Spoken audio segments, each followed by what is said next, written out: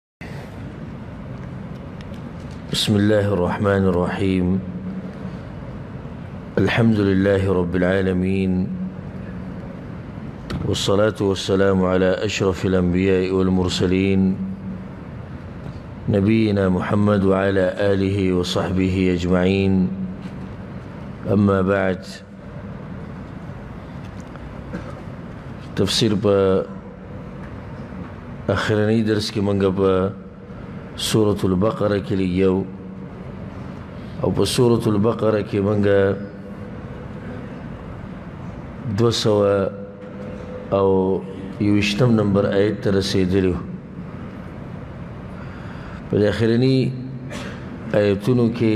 یا په اخرنی آیت کې الله سبحانه وتعالى دا خبره بیانوله چې مسلمان سره د مشرک خزي سره نکاح نشي کوله او مسلمان خزه دا نشي ورکولای په نکاح باندې مشرک ته او کافر ته کاغه کتابي او کاغه غیر کتابي کتابي او غیر کتابي مطلب دی چې اهل اهل کتابونه زنانه راوستې شي خو موږ خپل خويندې د اهل کتاب شور کوي چې کوم ذکر کړو چې مشرکه خزه د همیشه حرام ده زمونږ خویندې د همیشه حرامي په مشرکانو او په کفارو کتابي او غیر کتابي چې په مسله بس د اهل کتاب سره نغونه او خدای او زمګ رستی په شرط په شرط دی چې پاک دامن چې زناکار خزنه او دا خبره مې ذکر کړې چې بیا هم غوره ده چې وی نه کی صحیح ده سړی د يهودي سره واده کوي نصراني سره کولی شي خو غوره ده چې وی نه کی دا اثر کې به خپلو بچو باندې دا غینه بعد الله سبحانه وتعالى وی په یو سل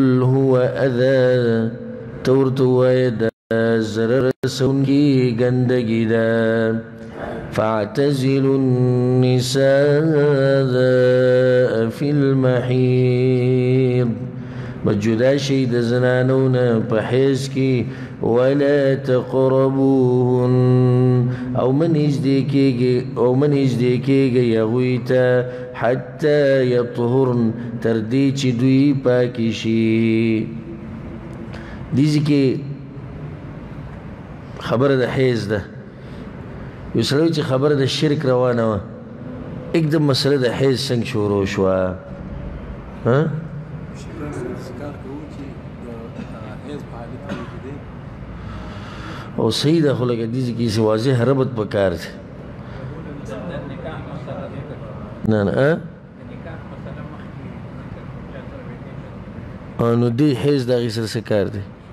تاسو د زنانه دغه مشرکان لور کې نو دی نه نه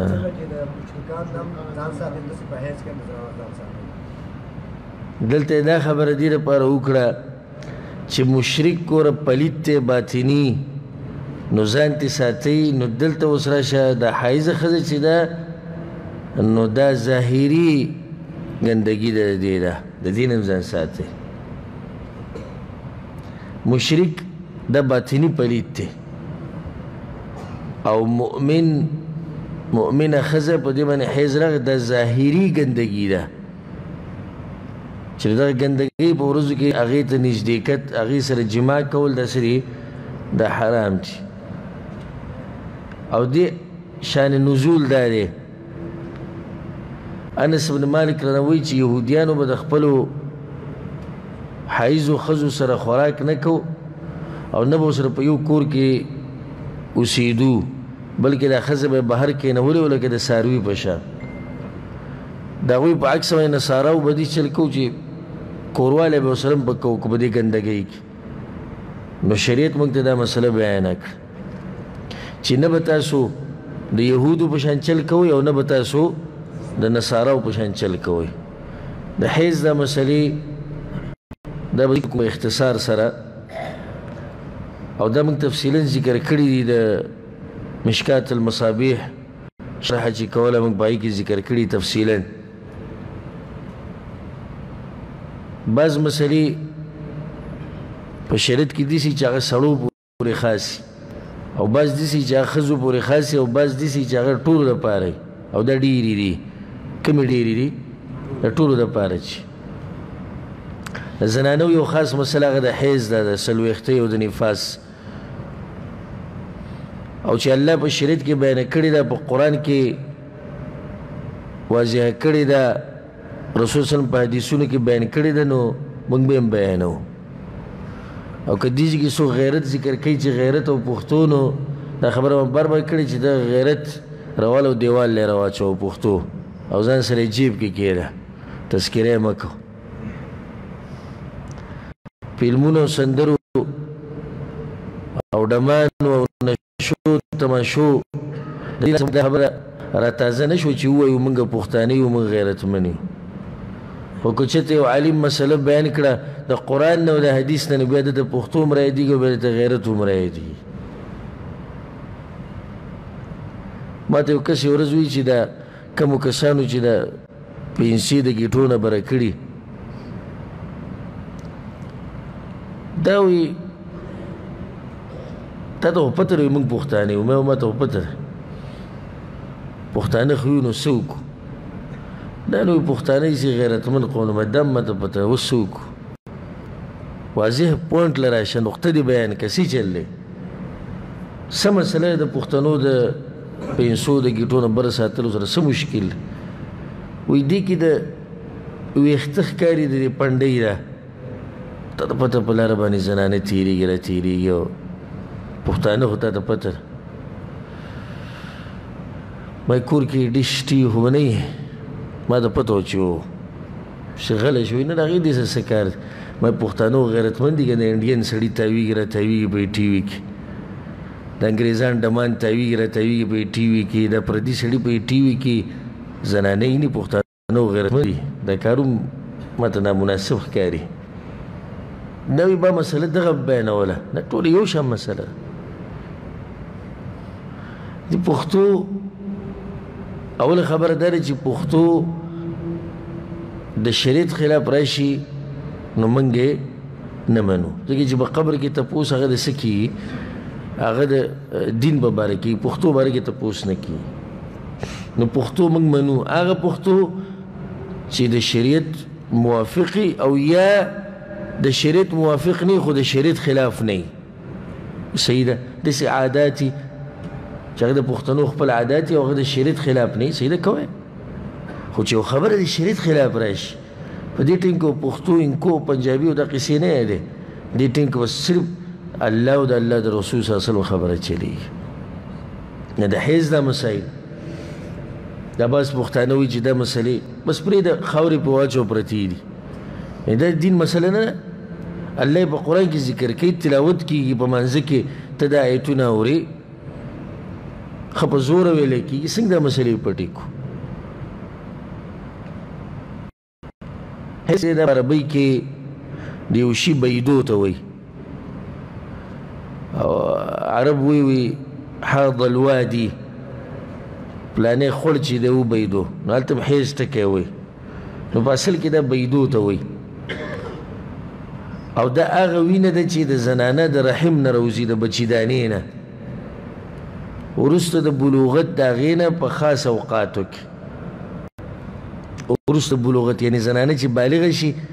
نو بیا پې دا وینه راځي د بلوغ نه مخکې دا وینه نه راځي نو دا طبیعي وینه ده د حیض دا وینه طبیعي ده او دا سه بیماری نه ده مثل ده بیماری ده بلکه حدیث کې د رضی رسول سمو چې شیء كتبه الله على بنات آدم د آدم علیه السلام په لونو باندې الله دا خبره لیکلې ده نو دا سه بیماری نه ده چې بیمار بلکه هغه زنانه بیمار دي چې پین راځي هغه زنانه بیمار دي چې باغې باندې حیز هغه پین راځي نو دا بیماری نه ده یا د ماشوم پیدا کېدو د لاسه هغه وینه نه ده بلکې دا طبیعي وینه ده په خاصو ورځو کې راځي او ټولو زنانو باندې یو شان نه راځي بلکې دا زنانو نه زنانو پورې فرق د علاقو د علاقو فرق د ملکونو فرق د قوم فرق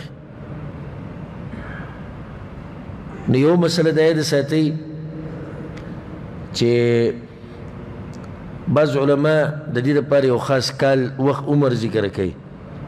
چې په دومره عمر کې زنانه ته حیز راځي خو صحیح خبردار چې د دې څه خاص وخت نشته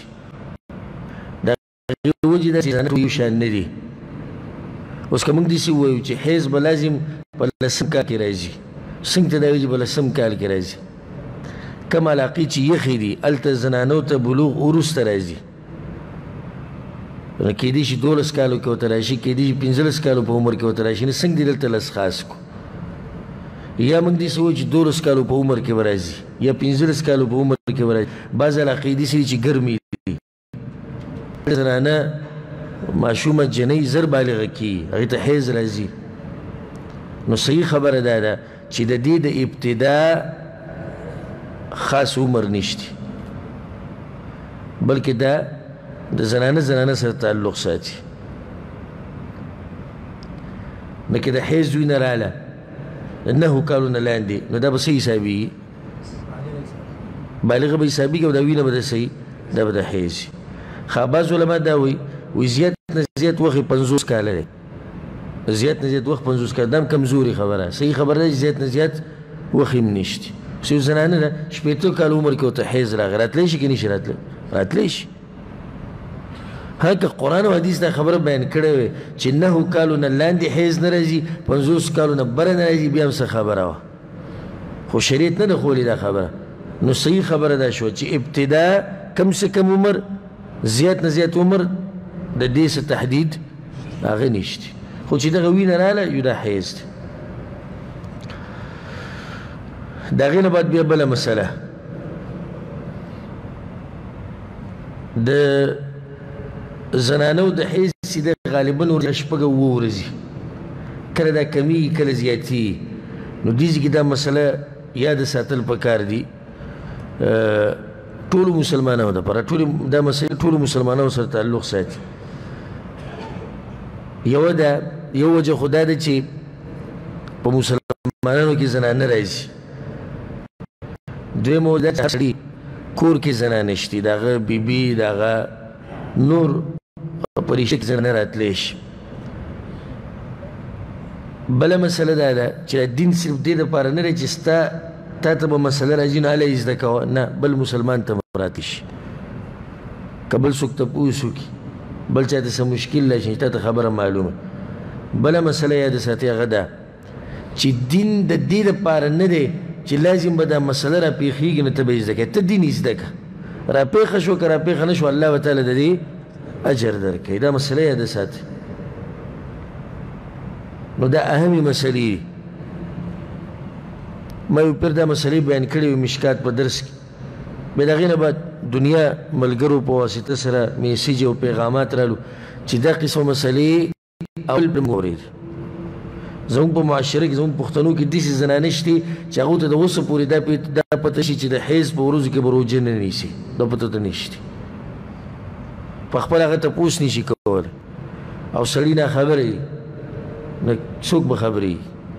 داسې زنانه پکې شتي چې د حیا د لاسه پته ده ورته چې روژې به نه نیسي خو د حیا د لاسه یې نیسي چې څوک رانه خبر نشي چې دې باندې حیض دی ښه دا اوس د ګناه کار دی نو په ګناه کې اخته ده او خبر نه چې زه ګناه کوم الله وی روژه به نه نیسي دا نیسي الله وی مونځ به نه کوي دا مونځ کوي دا خو ګناه شو نو دا مسلې هغه مسلې دي چې دې ته ضرورت راځي دلته یو مسله هغه دا ده چې عام عادت د زنانو شپږ اووه ورځې دی شپږ ورځې حیض راځي اووه ورځې راځي نو کله دا زیات شي کله کم شي دا بعض علما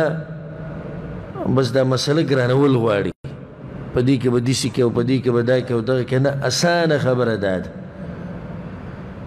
د یو زنانه نه د هغې اووه ورځې عادت دی اتو ته واورېدو زه حکم ده خو اتو ته واورېدو نور کلام یې ښه ووایي نو موږ ورته وایي دا وینه هغه شان ده که نه ده وایي هغه شان ده چې هغه شان ده دا څه ده دا هیڅ دی که کمه شوه سپایي ولیدو دا پاکه شوې ده او نور که دې حیض اووه ورځي دې کله دې عفوا دې میاشتې له شپږ ورځې راغی دا به څه کېږي کېږي به دا چې شپږ ورځې حیض شو بس خبره ختمه شو بله مسله هغه دا دی کله کله داسې هم کېږي چې زنانه باندې حیض راځي د میاشتې په منځ کې دې سره دا عادت او د عادت بدل شي د میاشت په اول کې راشي یادی سم کېدی شي چې د میاش په اخره کې راشي بعض علماو ته غټه قصه جوړه کړې ده نه لنډه دا ده چې د تیر شوي مسلې په شان چې وینه ولیده او د حیز د وینې په شان د څه شوه حیز چې نه دی دا څه خبره شوه بله مسله د زنانه چې د حیض د وینې ځي د حیض وینه خو معروف وینه ده چې رنګ د دې صحیح رنګ د دې توري او بینی او دا د رګونو وینه نه نو د دینه بعد یا د دې په دې منځ کې اکثر زیړواله یا خړواله راځي په زنانه باندې نو زیړواله او خړواله راتله په زنانه باندې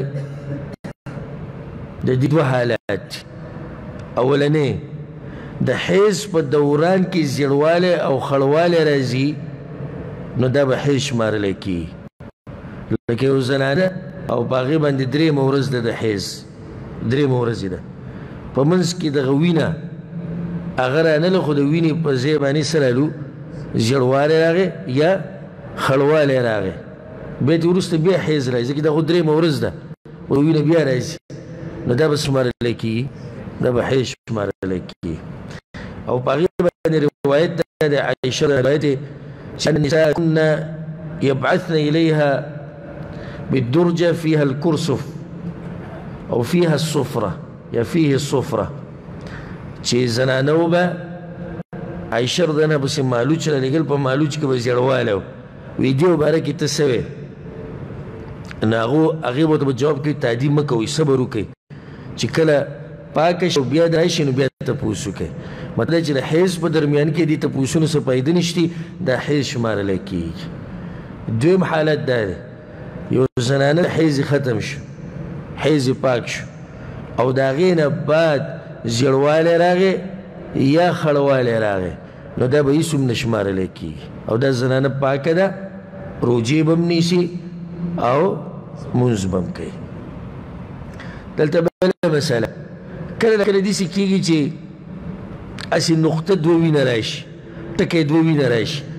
نو نه شمارلی کېږي وروسته دا وروسته چې کله یو زنانه صفا شوه او د هغې نه بعد نقطه دوه راشي نه دا حیض نه شمارلی کېږي دا زنانه پاکه ده ځکه چې دا کله نا کله داسې وشي چې د د ستړیوالي د لاسه یا د وزن څه شی اوچت کړي د هغې د لاسه قطره دوه راشي نو دا به حیض نه شمارلی کېږي زمونږ دې زنانو ته زمونږ د معاشرې زنانو ته په دې مسلو کې ډېر مشکلات دي د هغې وجه دا ده چې په خپله هغوی په دې مسلو نه پوهېږي یوه دویمه سړی دا مسلې سړو سره ځان له علم نشته او نه دا مسلې زده کوي دوه درېیمه عالم سړی که دا مسلې بیانوي نو دا د پښتو معاشرې خلاف خبره ده چې دی په سپیکر باندې دا خبرې بیانوي نو درې خبرو د لاس زمونږ زنانو ته غټ مشکل دی په دې مسلو کې هلای دا ځای دی خو چې سړی د قرآن او حدیث په رڼا کې زده کړي او باقي دغه خبره چې کومه ده چې دې قسم مسائل په سپیکرو کې بیانول نه دي پکار نو دغه خبرې مونږ الحمدلله هیڅ سوچ او فکر نه کوو داغي وجه دا چې الله بیان کړو خو د قیامت پورې ویل کی نو که زه بیان کوم په سپیکر کې خلک اوري سي چلو شو بل چې زمونږ هدف الحمدلله غدا دی چې زمونږ معاشره یو دینی او دیندار معاشره جوړ شي او دا وخت پورې دینی او دیندار معاشره نشي جوړې دي چې سو پورې دا ټولي مسلې مونږ زده کړې نه او مونږ بیان کړې نه بل مسله یو زنانه ده چې هغه د سي عمر ورسره چې حیز ختم شو دو درې کال په دې باندې حیز نه و د سي اکثر کی دو درې کال په حیز نه و بیا یو وخت کې په دې باندې حیز راغی نو دا به حیز شمارل کیږي او کنه نو صحیح خبردار چې هغه شان ویني د حیز هغه په شان نو دا به څه شمارل کیږي دا به حیز شمارل کیږي دغه شان بیا دا مسله یاد ساتي چې د حیز کمه او زیاته موده نشتی لکه زمونږ ملک اکثر علما دا وی وی زیات نه زیات موده څو ورځې ده لس ورځې ده او په دې هیڅ دلیل نشته دا چې کم څه کم مده وي چې ده نو شپه او ورځ ده په دې هم څه دلیل نشته د دې د لسه د عوامو ته دا مسلې ګرانې شوي او موږ داسې اسانه خبره وکړو څنګه چې د شریعت موافق ده چې دا وینه وه نو حیض شتي چې دا وینه نه وه هیڅ نشته خبره ختمه شو اوس ناشنا خبره ده چې یو زنانه ده او زیات زیات مدت څو ورځې دی لس ورځې دی یو زنانه ده لس ورځې په هغې باندې د حیض د وینه راله په یولسمه ورځ هم دغه وینه ده خو د حیض نه شمارلی کېږي دا عجیبه خبره نه شوه عجیبه شوه که نه شوه هماغه وینه ده اقشان رنګ اقشامین خو یو لسم ورځې د دا نشمارل کېږي حیز په لسم و حیز یو لسم ته حیز بدل شو دا حیز وینه شو دا ناشته خبره چې یو شان وینه ده یو شان اوصاف دي ولې بدلېږي دا دلته په دې ورسېدو که نه نو اکثره او اقل موده نشته چې وینه وه حیز دی چې وینه نه وه حیز نشتی دا ساره مسله خو په یو زنانه باندې حیز راغی نو په دې باندې بعض کارونه حرام کی اولنې یو زنانه باندې حیز یو سلوخته د موز نشي کوله کاغه فرضي او کا هغه نفلي یو منظم نشي کوله او چې کله پاکه شوه د حیض نه یا د څلوېښتۍ نه نو د دې ورځو قضا به راوړي نه به راوړي د دې منځونو قضا وجه دا ده چې منځونه ډیر دي خروجي نه نیسي خو روجو قضا به راوړي ولې روجې لګې دي نو د هغې قضا راوړی شي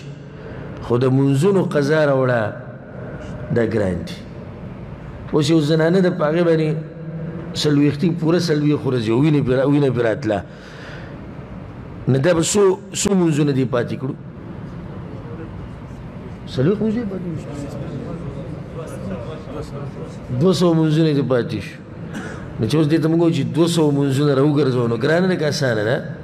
ګرانه ده نو شریعت د اساني ورکړې ده دشان د حیز په ورځ کې د مونږ پاتې شو نو بیا په دغه قضا نشته قضا سیب د روجو ده دویمه مسله چې په دې باندې حرام کیږي هغه د قران قرات دا بعض علما ذکر کوي خو صحیح خبره دا ده صحیح خبره چې حایزه زنانه د قران تلاوت کولی شي حایزه زنانه د قران تلاوت کولی شي لاس به نه وړي ځکه چې هلته خو اودس نشته لاس خو په یو حال کې نه وړي خو تلاوت خبره من کوو یو زنانه د هغې ته قرآن یاد یا لاس دستانې اچولي دي او په سشي باندې د پاڼې اړې د قرآن تلاوت په دې طریقې سره کولی شي دلیل پې څه دی دلیل پې دا دی چې دلیل نشتی چې دا کار په دې باندې حرام دی په صحیح حدیثونو دا نه دي ثابت چې حیزه زنانه به د قرآن تلاوت نه کوي دا نشتی دویمه مسله وی چې یو سړی د جنابت په حالت کې د رضو علماء وی یو سړی د جنابت په حالت کې قرآن به نه وی دغه شان حایز زنانه به قرآن نه وی موږ وینا دواړو کې فرق دی جنابت چې دی د زموږ په لاس کې دی خو حیز د حایز زنانه په لاس کې نه دی یو سړی د جنابت په حالت کې و بجې دي سحر تا نه ته پوښتنه کوي چې قران به کې ویل شم او کنه ویل نه شي ویل لاړ شو ولم به وای کنه خبره ده په لاس کې خو یو زنانه ته پوښتنه قران ویل شي او کنه او تا ته چې او ویل شي خو چې کله پاک شي د حیز نه کله به پاکي خبره دغه په لاس کې نه ده دویمه خبره دا تلند او حیز سره وګد دی وورځي تورځي بس زنانه لسورځي لس ورځې تا په دې پابندي لګلې چې قرآن به نه وي خلک که دا استاد وي یا دا طالب وي سبق وي نو هغې ته ضرورت دی چې هغه د قرآن تلاوت وکړي مراجعه وکړي نو صحیح خبره دا ده چې حایزه زنانه د قرآن تلاوت کولی شي بغیر د لاس وړلو نه لاس وړلو دا مسله خو واضحه ده ځکه چې اودسې نشي چې اودسې نشته نو لاس نشي وړلی دریم خبره روجی نشي نیوي روجی نشي نیوي او بیا به ورسته قضا راوړي که د ماخام د بانګ نه 15 منټه مخکې پم حیز راغې نو د روجه صحیح ده که فاسده ده فاسده اگر که 15 منټه مخکې راغې بدلته دا مسله فائدې د پاره ارساتي که یو زنانه یي د حس بیماری ختم شي د سحر د بانګ نه مخکې او لامبلې نه یو بانګ وي نو روزه صحیح ده که نه صحیح صحیح ده دا مسله مخکې بیان کړې او د شند جنابت په حال کې لکه چې سړی دی د ښځې سره کوروالی وکړو وده شو ویې نه لامبل سحر بانګ یې وویلې راپاسې چې دی څنګه راپاسې غړي تو کو ته دا خو بانګ ویلې او د جنابت په حالت کې نو دا روزه صحیح ده کنه صحیح دا روزه صحیح ده دا څو خبرې شي به دي حرام دي درې سلورمه درې موږ په دې ذکر کې چې قران هغه تلاوت خو به کې اختلاف ته او صحیح ده چې هغه قران تلاوت کولای شي سلورمه یا دریمه خبره دا ده چې په کومه زنانه باندې حیض راشي یا څلوېښتي نو د هغې سره کوروالی څه دی کوروالی حرام دی او الله سبحانه وتعالی په قرآن کې دلته دا خبره همدغه ذکر کړې فاعتزلو النساء فی المحیض د حیض په دوران کې به زنانو ته نه نږدې کېږي ځکه چې دا ګندګي ده او رسول صلی الله علیه وسلم په حدیث کې وایي کله چې دا آیت نازل شو اصنعوا کل شیء الا النکاح یو زنانه سره هر څه کولای شي سوای د کوروالي نه جماع نشي کولای الحمدلله زموږ د دین د وسطیت دین دی یهودو به څه چل کو د دې زنانه نه سم زناور جوړ کړه او ساروی دا به بهر ناسته او غریبه او د دې سره به خوراک څښاک نه کې د دې سره به خبرې اترې نه کې د دې سره به کینې نه سره اوسې چلو کو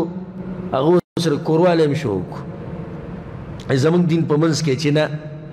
خوراک څښاک بم کې د حیز زنانه سره خوراک څښاک کولای شي ګپ شپ وسره لګولای شي د کوروالی نه علاوه ته هر قسمه خونه غستې شي او کورواله وسره نشي کولای نو کوروالی نه علاوه چې مونږ وې نو په دې کې هر خبر رااله تفصیل ته ضرورت نشته او کچا بیا هم د دې ښځې سره کوروالی کوو چې هغه د حیض په دوران کې ده د حیض بیماري پرې ده نو که د ده نه یېري یا جاهل نو بیا پې هېڅ نشته یو سړی د هغه ته دا پته نشي چې دې وخت کې دا کار حرام دی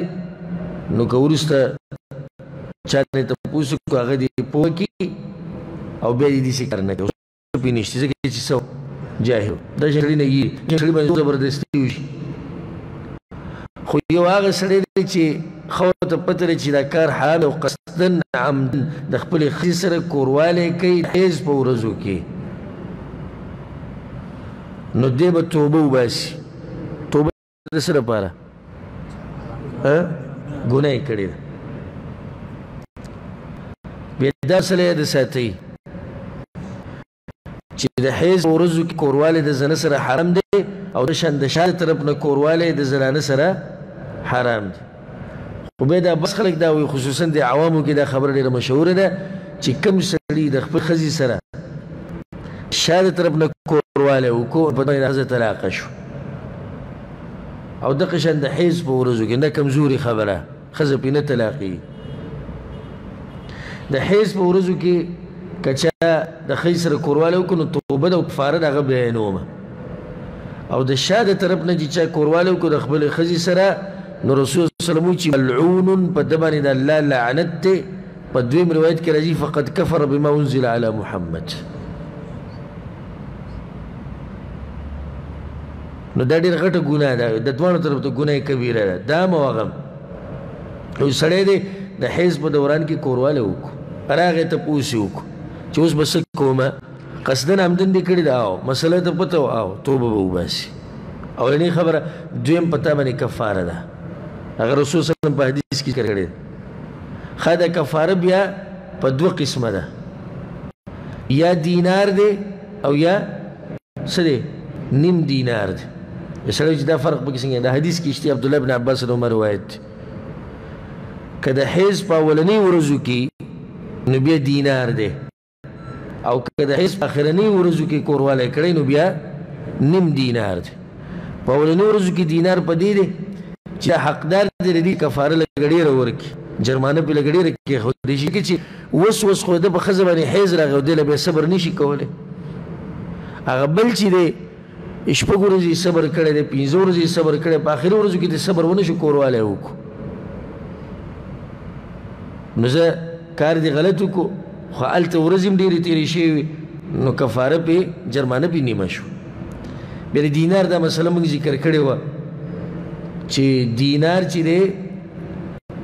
دا په باندې څلور ګرامه سره ترې جوړېږي، په باندې څلور ګرام. د دینار نه نو اوس موږ مثال به داسې ووایو چې ګرام شو نن سبا ګرام په څو دی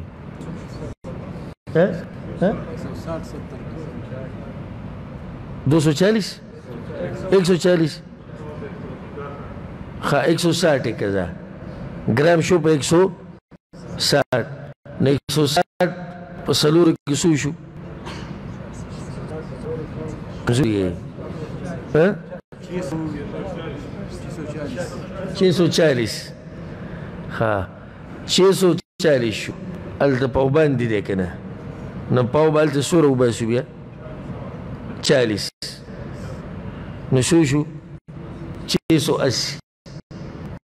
نه په دې باندې سو جرمانه شو دا موږ تقریبي ذکر کوو هغه به یقیني مارکیټ ته لاړ شي ته اوس وو کې سو سو ریټ ته به په حساب وکړي نو شپږ سو اتیر شو د نیم سو شو د سو سلويخ درې سو سلويخ دا حساب دې سنې چې تاسو دا دغه یاد کړئ دا اعداد یاد کړئ چې یعنی شپږ سوه اتیا او درې سوه څلوېښت نه دا مسله ټوله تعلق ساتي د سرو سره دینار دی لکه یاد ساته یو دینار په وړاندې څلور ګرامه دی دا بنیادي مسله شو اوس بیا تر ګرام ته پوه شو دا ډېر څو دی نو پوره څلور په وړاندې څلور ګرامه دا شو د دې نیم دا شو نو دا کفاره به ورکوي او توبه به وباسي بل مسله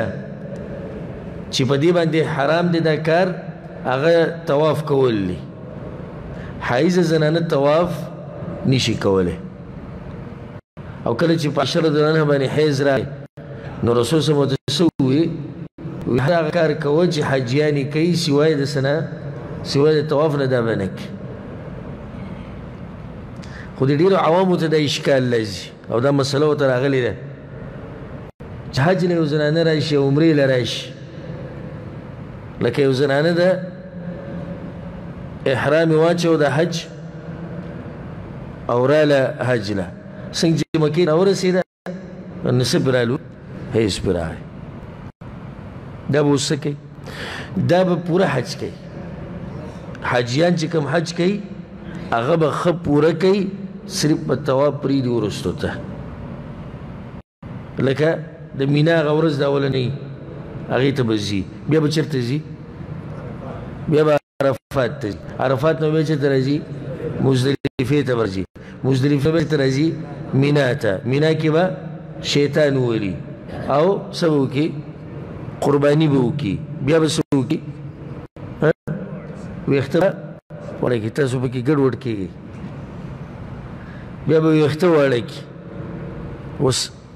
او دینه بس شي دی طواف دی او په دې باندې حیز دی نو طواف کولای شي دا نه دا دی پری دی خدا به کوم وخت پوری پری دا دا وخت پوری سو پوری دا پاک شي چې پاک شي وسی ها طواف رخصتی طواف د په حیز زنه باندې سره شتینه د کوس یو زنانه ده دغه پورې موږ رسیدلی کنه د اختر ورځ د مینا شیطانانی وشتو قربانی ویښته واړه شو طواف زیارت یو کو طواف افاظه چې وته وي صفا مروه مو کړه مینا ته واپس راغله حیز پرې راغی چې حیز پرې راغی شیطان ولي باقي شیطانان به ټول ولي خو بیا چې اخري کوم د وتو په وخت کې طواف ته هغه پرې باندې هغه پرې باندې نشته والعلم عند الله دا غینه بعد چې بکل چې هغه په دغه ټیم کې حراميږي هغه جمعات کې وخت تیرول اگر کدا مسله اختلافي ده خو احتیاط دی کې دی چې حایز زنانه جمعات ته نه ځي بل مسله چې دغه ټیم کې حرام شي هغه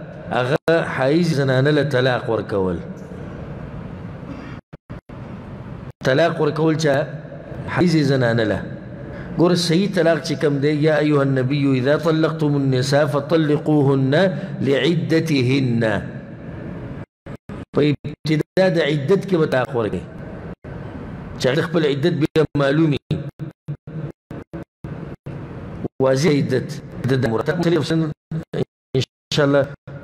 دې شي دې درس کې شروع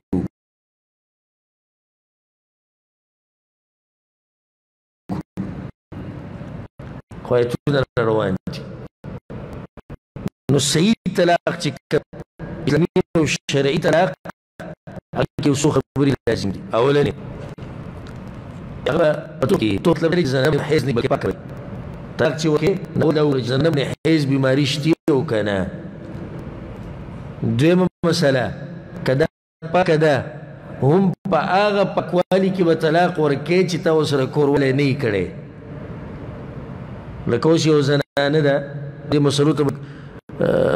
غوږ کېدی سوچ وبکې وکړي اگر که اولنی روزه ده اولنی روزه اکثر دا کسان دي چې لږ ګډ وړي دي چې وایم یو څه چې ووري بل څه بیا بیانوي بل څه نو جاخه به ښه ډېره کوي بیا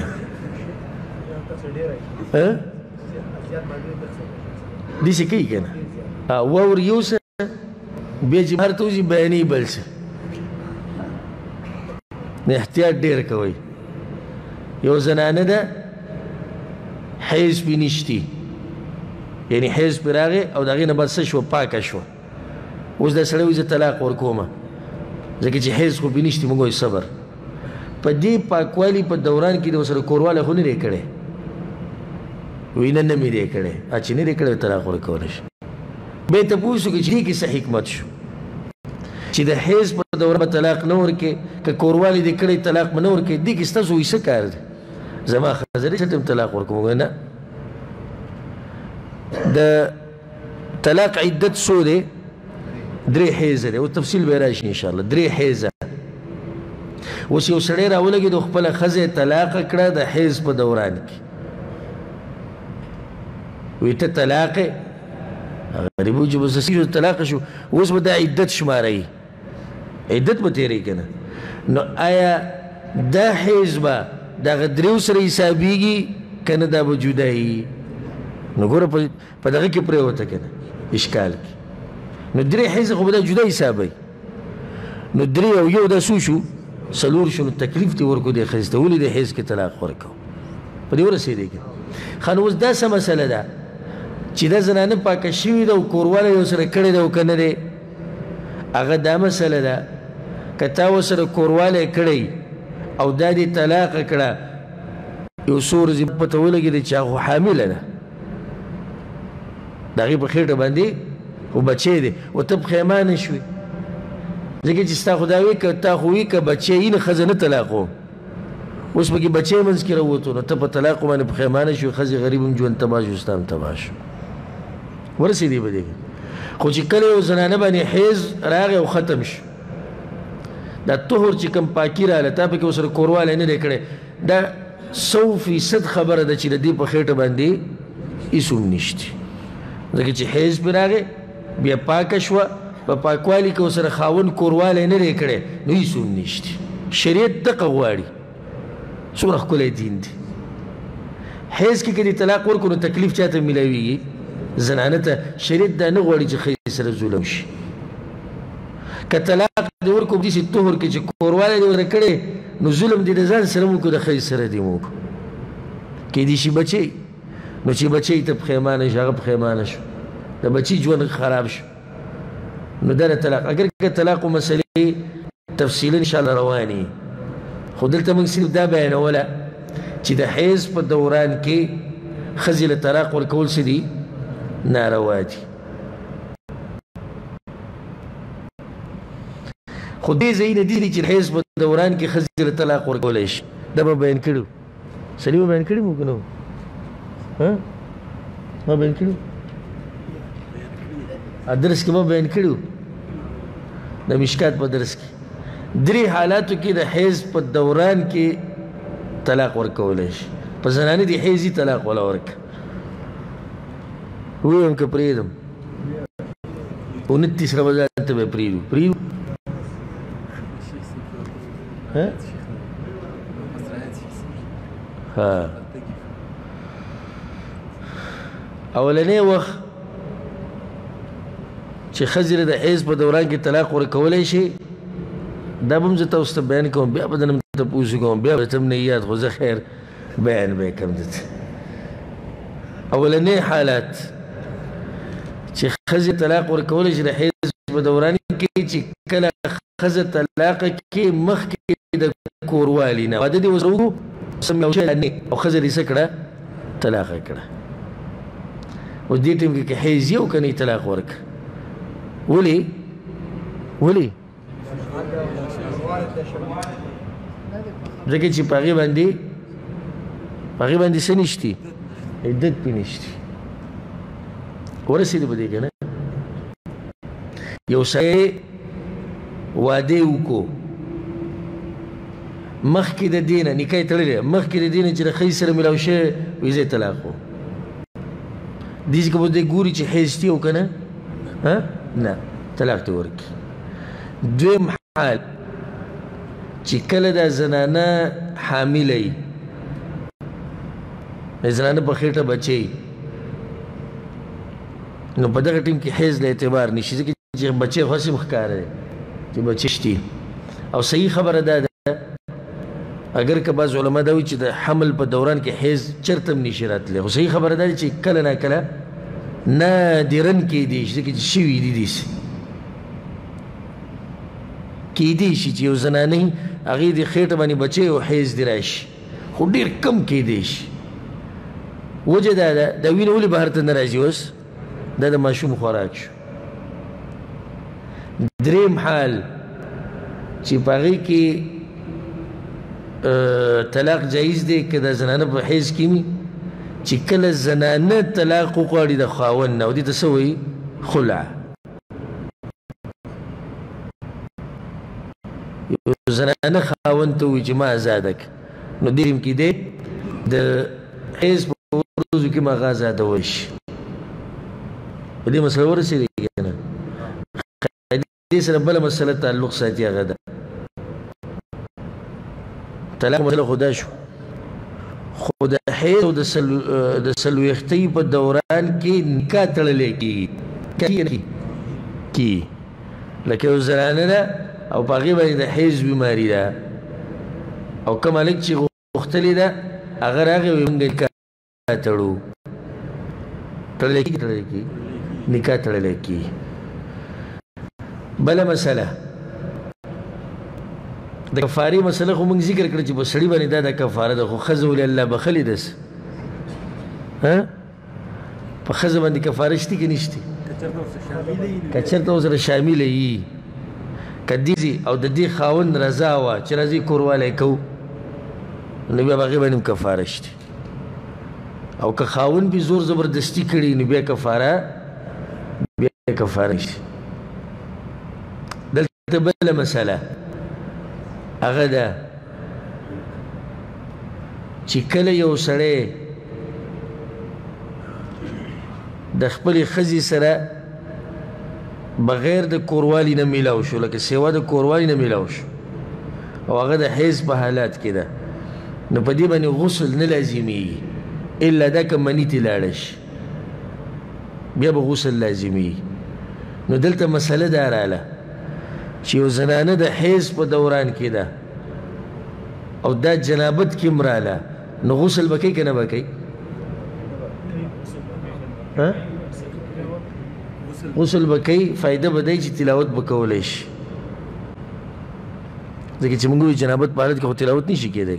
غسل کو جنابت خو ختم شو خکم ما دا چې حیز زنانه بالکل تلاوت نشي کولای ناغوي کې د غسل د لیټ کې اخیری کړه د حیز نه پاکي یو یو سړي نه ټول کافي شو حکم لم چې د قرآن تلاوت کول شي نو د دې غسل سره وته دغه فائد ملایږي په کومه مسله چې نه پويږي دا غي ته پوښ بیا هم کول شي اس خبره نه ځکه چې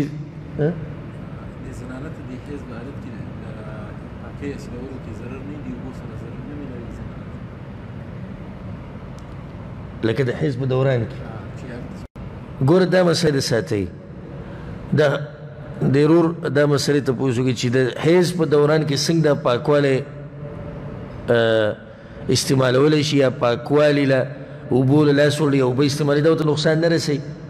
نو جواب دا دی چې دا د عوامو خبرې دي مشهورې کړي دي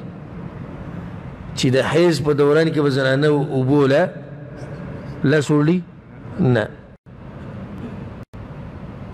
سلويختي په دوران کې لاس وړي سلوي خورزي ډيري په حال او ببوي ګوري بم نه وبوته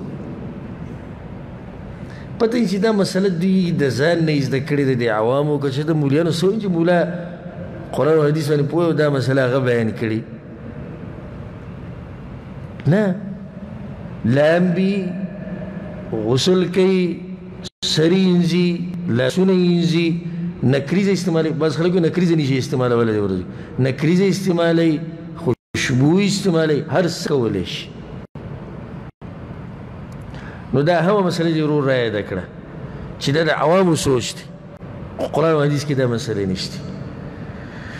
بله مسله یو زنانه ده او هغه د حیض نه پاکه شوه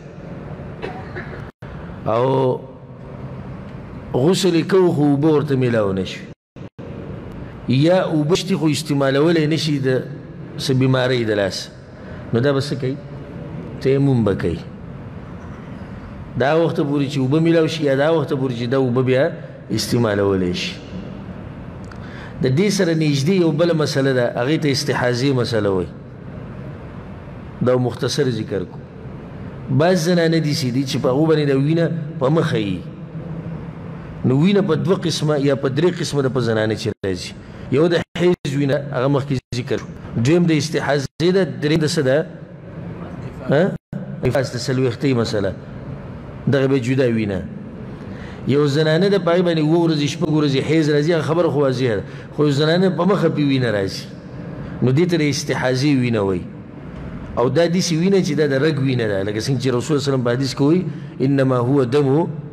عرق دا د څه د رګ وینه ده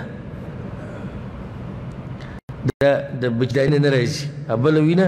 دا کوم ځای نه راځي د بچداني نه راځي رحم نه راځي خو دا وینه دا د رګ وینه ده نو بیا دلته درې خبرې یادې ساتئ درې طریقې یو زنانه ده په هغې باندې وینه مسلسل هره میاشت شي مسلسل نو اوس مشکل دلته دا دی چې دا زنانه به څنګه فرق کوي چې دا د حیض ورځې دي او که دا عامې ورځې دي خیال همدې دې مسلې ته نه دا به اوس څه کوي دا به درې کاره کوي په ترتیب سره اولنۍ طریقه دا ده چې دا به هغه خپلې ورځې چې څومره د دې دي معلومې ورځې دي شپږ اووه د پلاني تاریخ نه پلاني پورې هماغه ورځې به انتظار وکړي هغه د حیض ورځې شمار شوې بیا دې غسل وکړي د هغې نه بعد چې کوم وینه راځي هغه به د څه وینه وي هغه به د استحاضې وینه وي او دا پاکه ده اورني طریقه دا شو خو که یو زنانه دا ووایي چې ما ته زما هغه عادت او زما هغه ورځې ما ته نه دي معلومې نو دویمه طریقه دا ده چې بیا په دې وینه کې فرق راولي د استحاضې او د حیض په وینه کې به فرق راولي دا وینه څنګه دا څنګه معلومه یې کړه ځکه چې رنګ او بین دا څه بدلي د رګ وینه یو شاني او چې کومه وینه د رحم نه او بچیدانې نه راځي هغه بل شی دی وایي په دې مې معلومه نه کړه زه نه شم معلومولی نو دریم کار به څه کوي ذکر کړی و ده د خاندان او خپلوان چې کمی زنانه دي هغه ته دی وګوري ځکه چې غالبا د یو خاندان زنانه چې نیټي د دوی یو شان یو شان عادت بل مسله دي ځکه هغه ده چی دا استحاضه ولا زنانه به او دس او غسل څنګه کوي نو دا غي درې حالات دي درې طریقې دي اولنې طریقه هر منځ د پاره به ودس کوي او دا طریقه رسول سم خولې زموږ مشکل مصابيح د سونه ووري ان شاء الله په مخ تفصیل کړی نو هر مانځه ته څه کول او دس لکه اوس مازیګر مونځ کوي مازیګر مانځه ته به اودس وکړي په هغې دې مازیګر مونځ کې قرآن تلاوت کوي او دې کې خبره نه ماښام باندې ووایي نو بیا به څه کوي بیا به بله اودس کوي او دا مسله او دا هغه سړي مسله چې میچاز او ساس کې د میچاز او ساس کې تیزي په مخه یا ته هوازي د دوی یو شان مسله ده کم سړی راشي وای چې زمانه د میچا استاد کی په مخه زی یا مانه په مخه حوازی نو دته موږ سو یو هر منځه ته با او داس کی او ځان ته بلاندې کپړه کې دی چې کپړې نه ګند کیږي جمعات نه ګند کیږي دویمه تقداد چې دو منځونه به یو ځکې خو غسل وکړي دو منځونه به یو ځکې او هغه ته بسکه نو څو غسل شو درې غسل شو خدا په خپل مرزي باندې مزونه وزې کوي ما ذکر راولي ما سپخین واخله ما سپخین دګدا مسله نشته دي ته جمع سوري وي او غدي سي ما سپخین براولي اخري واخله ما ذکر براولي کم واخله اولنی واخله دوانه یوځي شو نو ما سپخین په خپل وخت کې وشو ما ذکر په خپل وخت کې وشو دغه شان ماخام به ورستو کی اخری وخت چی دی ماسخوتن به به رمخ کی کی دیسی او په دې طریقه نو دې ټیم کې کتو منځونه یو ځای کوي په دې طریقې سره نو بیا غیر لپاره بس کوي غسل وکړي او دریمه طریقه او د لګ ګرانه ده هر منځ د لپاره غسل کول جدا منځ جدا غسل نو استحاضی ولا زنانه ته جایز دي چې په دې درې وانو کې هر یو طریقه کوي بل مسله چې په کومه زنانه باندې د استحاضی بیماری د دې سره کورواله څه دی جایز دي د دې سره کورواله جایز دي ځکه دا رګوینه ده د دې سره بل مسله تعلق ساتي هغه د نفاس ته د سلويختي او د ماشوم پیدا کېدو د لاسه د وینې راځي یا د ماشوم سره یو ځای راځي یا د ماشوم د پیدایش نه بار راځي یا د ماشوم د پیدا کېدو نه ورځ دوه مخکې راځي د سیم کې دا هم د سلويختي وینې شمارل کېږي او د صحابه کرامو او د غوی د علماو اجماع ده په دې باندې چې زیات نه زیات مدت یې څو ورځې دی څلوېښت ورځې دی او ځکه ورته څلوېښتې وایي او کم سې کم مدت یې نشته او زمونږ د دې عوامو او کومه طریقه چې هغوی ته خوښ شوي د غریبانو په هغې روان دي هغه خو دا ده چې دا ښځه به څلوېښت ورځې لازم کینی خه که دې څلوېښت ورځو په دې منځ کې په دې وینه نه وي نه دي خو سر نه به یو تان تاو کړی او خوځېږي به نه لازم ده وي ښه اوس یو زنانه د پاغه ماشوم پیدا درې ورځې په وینه و بیا ختم شو نغو نه سلويختی لاشتي سلوي خورزي با پورا کوي خو چې پاک شو وینه نشته سلويختی لسیږي نیو مسله دا شو اکثر مده سره سلوي خورزي کم سے کم مده نشته چې وینه و د سلويختی سلويختی شتي چې نو نشته بل مسله کدا سلوي ورځې تیری کی او دغه نه بعد د حیز ورځې راشي بس دغه به سره انتظار وکي دغه د سره هم انتظار وکي بل مسله غدا کچرته دا ماشوم پیدا شي او وین را نشي او دا ډیر کم نادرن کی کې دی خوشي کنه کوښوا نو بس دا زنانه ایس پم نشته او دستیو کې خپل موز بکې غسل پم نشته ورسې په دې مسله کې ښه اخرنۍ مسله څلوېښتۍ په دې احکام کې هغه ده یو زنانه ده د څلوېښتو ورځو په دې دوران کې په منځ کې د دې وینه بنده شوه پاکه شوه غسل یې وکړو مونځ او دغې شروع کړو ده روجې بیا وینه راغلې دوه درې ورځې بعد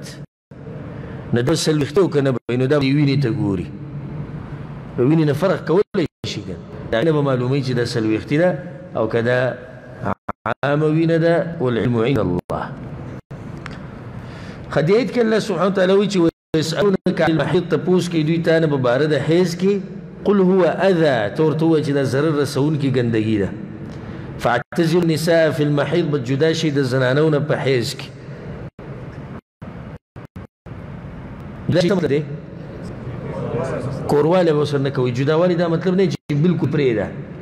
نه وی کورواله به سره مکوه ولا تقربون او من نږدې کېږئ هغوی ته حتی یطورن تر دې چې هغوی پاکې شي تر دې چې حیث شي بند شي خو بیا وتلم نشي یو ځای کېدی فإذا تطهر او کله چې ځان خپاکي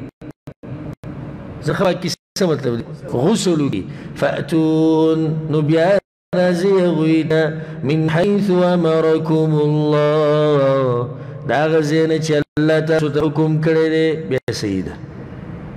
نو دې ځای کې بله مسله ثابته شوه یو زنانه ده حیز ختم شو او غسل نه لري کړي نو بیا وسلم سره کورواله نشي کوله دلیل به سره دلیل به داري کور د ایت ګوري ولا تقربوهن حتى يطهر من دې کیږي غوته چې پاکیش فاذا تطهر کله چې پاکیش نه مطلب شو پاکي شي او پاکي شي نو د اولني پاکوالي کې مطلب دی چې وینه بنده شي دویم پاکوالي کې مطلب څه دی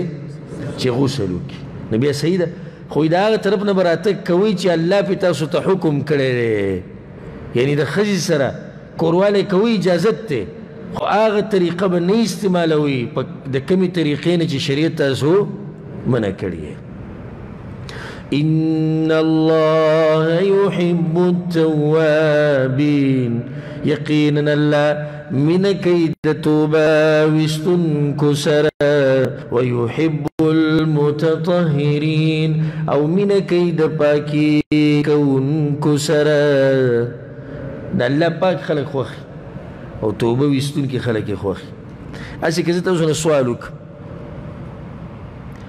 وی د الله خوخي توبه وستون کی او د الله خوخي پاک خلق د دوړ ولي یو ذکر کړو توبه سره ګناهونه پاکيږي نو دی بل پاکوالي سره بدن او جسم او کپڑے پاکي د الله دوانه خوښ دي دي کې دې ته اشاره ده چه انسانه دی سینه ته راولګې د بدن په صفائی کې مصروف شي او مصروف شي او مصروف شي او غاسل بنیادی صفائی د نه یې رشي او هغه صفائی د صفائی د ګناهونو صفائی د زه د چې ډیر خلک دي چې سب مخامخ دومره صفا ګرځي چې رضان نه سم یو هغه جوړ کړي زره برابر ابر امنیا جی سبارک صفائی مبارک خزره ډکته د ګناونو نه زره ډکته د بدعات او خرافات او غلط نظریو غلط عقیدو نه دا پاکواله ستا په کار را نه وی ولی ځکه چې بنیادی پاکواله د سره هغه د ګناونو دی او هغه تاکي نشته الله دې دوه مونږ ته نصیب کړي نیسه دلته یو بل مسله زموږ ذهن کې دي چې ډیر چې دا مسلې کله زه بیانوم ذهن کې چې لازم درس لچې دا په کې وم دا په کې وم زر زر لیکم په تا دی کې تیارې کوم خو کله کله بیا هم دي چې چې بعض مسلې زمانه یې رښتیا د څه مشکلې ته پوس کولای شي نو دا رور زموږ وایي چې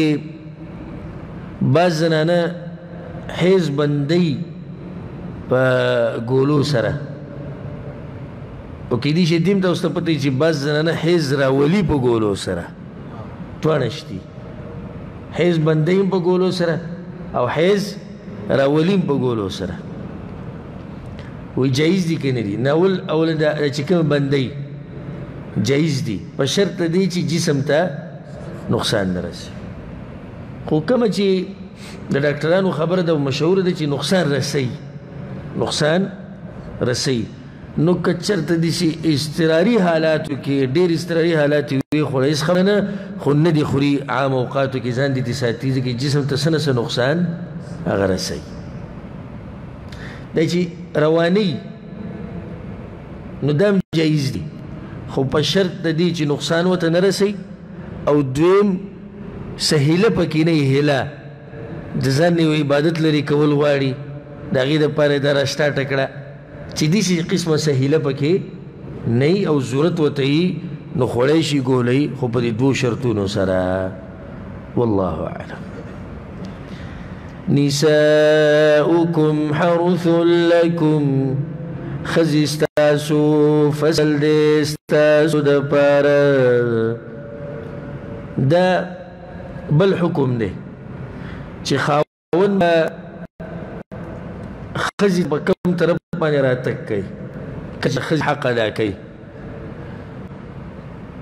په يهودو کې دا خبره مشهوره وه يهودو کې دا رواجو کله چې یو سړی د خزي سره کورواله کوي په دې مخ لار کې خود شاده طرف نه کورواله شاته نه کوي کورواله مخې ته کې خو د کتر نه کوي د شا طرف نه کوي نو دا به غوي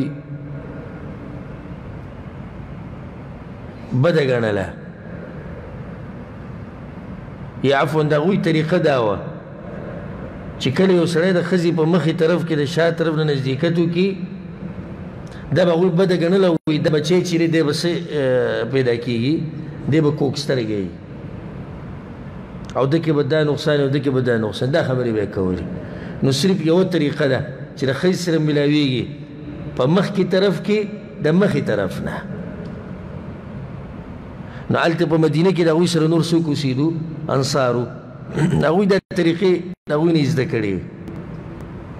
کله چې رسول صلی الله هجرت کو د دغه ته مدینې ته نو بیا یو ماجر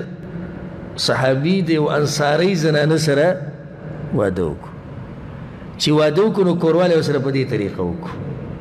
مخې ته خو د شاله طرف نه هغوی داسې خبره راله چاله رسول الله صلی الله علیه وسلم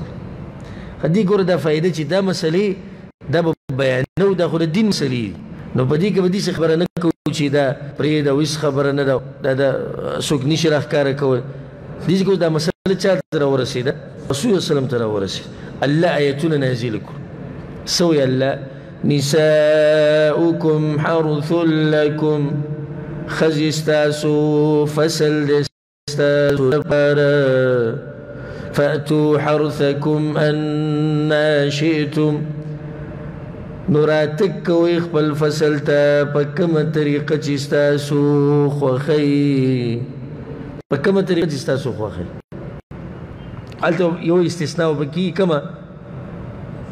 ها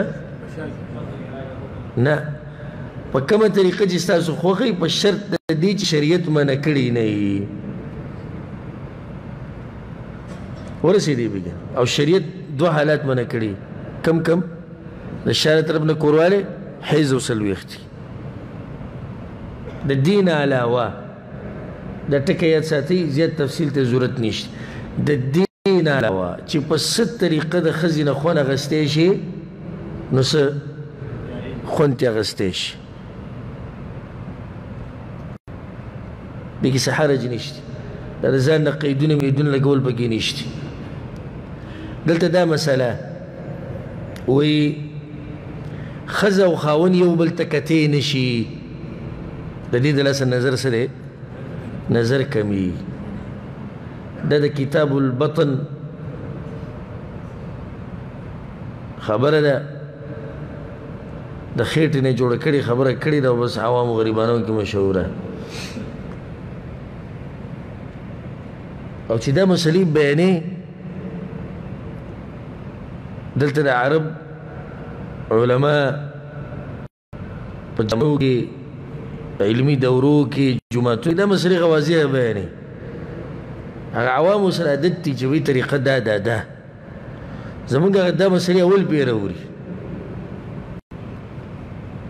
نو بعد دې موږ سره پکې ناشي او اندازه لګو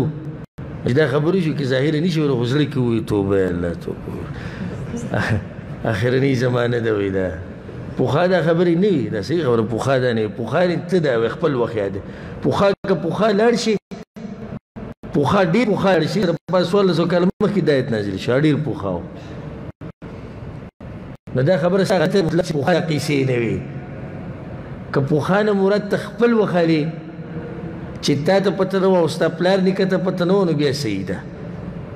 خودی سیمو چې پوخا پوخا بالکل نه نه دا قران خو سره پاس سوال سو کاله مخ کې نازل شوی دا دا مسله پکې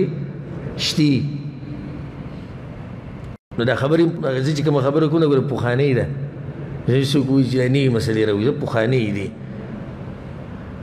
نو خزه خوند یو بل نه په هر طریقه خونه غستېش او دا د واده مقصد دی چې خزه خوند یو بل نه خون واخلي یو بل ته کتېش من خبره دغه بیانول یو بل ته کتې شي وي خزه خاون به یو بل ته نه ګوري دې داسې وي دوی سترګو نظر کمیږي یا ړوند شي دا کمزورې خبره خزه خاون یو بل ته کتې شي یو صحابي راغی د رسول الله ته پوښتنه کوي یا رسول الله د خپل خپل عورتونه به موږ د چا نه پټو وي د چا نه پټو سوال چا نه د خپل خزینه وي ور اجازه ورکو دا عورت د هر چا نه پټول شوی د ښځې نه هغه آیت موږ سره تیر شو هن لباس لکم وانتم لباس لهن خزي چې د تاسو لباس ته او تاسو د خزو لباسي نو لباس او د بدن منځ کې پردې پردې نشته دا دا لباس موږ چولې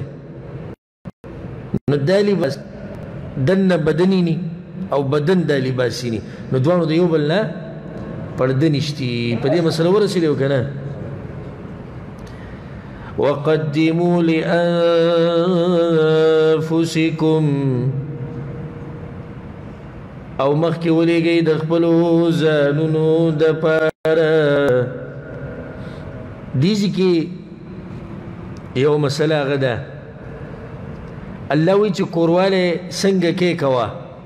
چې څنګه کې کوا بیا په منځ کې وی د خپل ځانو لپاره سولېږي دې څه مطلب شو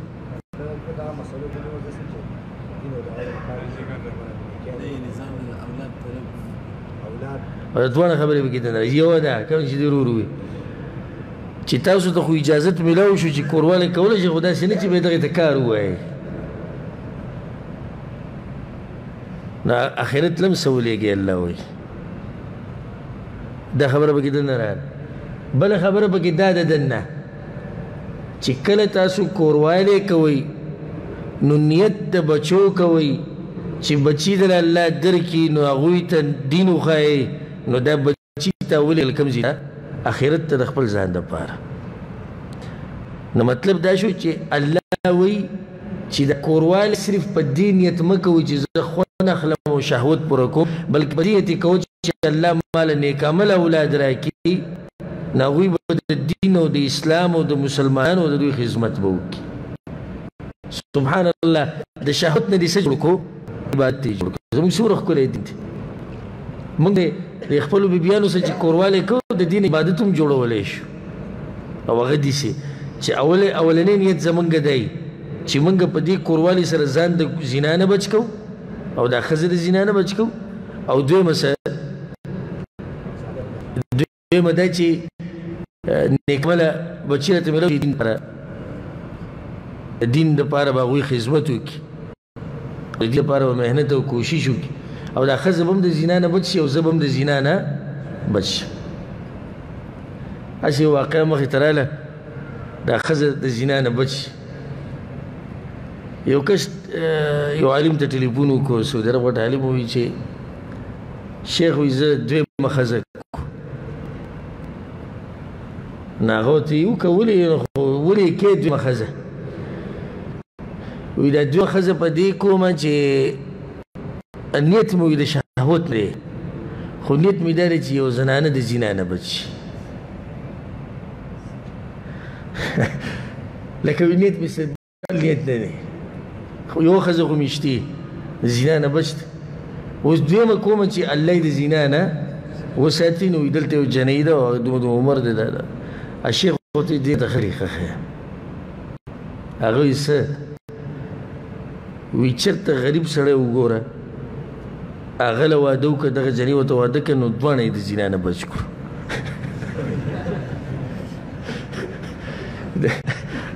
دې ځي کې غوښته چې رسرو لکه دغه چې دې غم راغسته خو چې دغه کارو کې نو څوک سات دي زینا نه بچ کړو دوی دې بچ کړو فائدہ ډیره شو بس هغه ته جزاک الله او د زړه دې ولا خبر ټلیفون بند چې موږ سوي او د سوي جاو مطلب دا چې په دې سوي مو شیخ برته خفز ایل بهن کې چې دا ډیره خوري خبره ده دا خو دې سي د دې بخه خلکو ته بیانې چې هغه هم دې سوي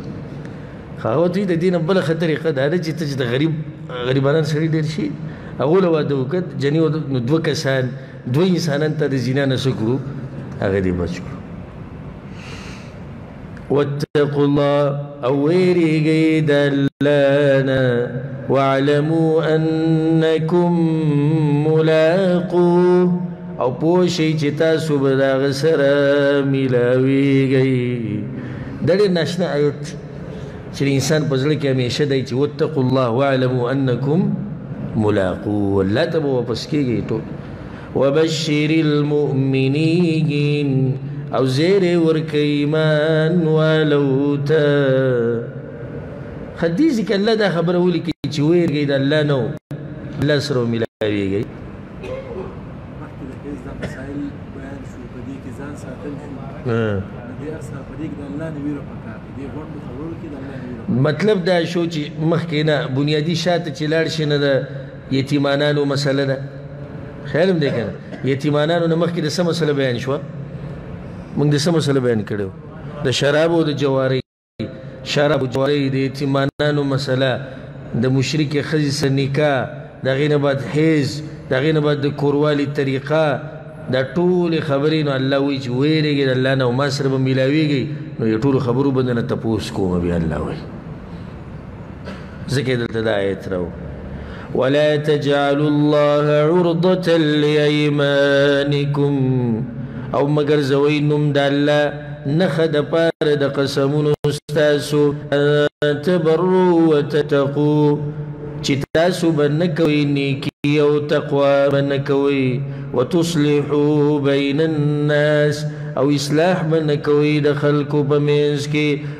والله سميع عليم او الله اوریدون کې پوه دی